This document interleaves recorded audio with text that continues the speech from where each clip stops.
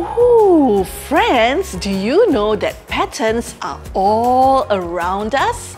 And sometimes they can be quite beautiful too. Memang betul Kak Fifi. Kita boleh melihat corak-corak di mana-mana sahaja.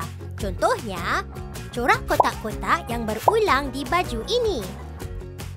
Corak pentagon dan segi enam yang berulang di bola sepak ini.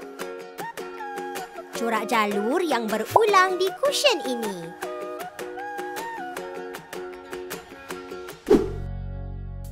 Corak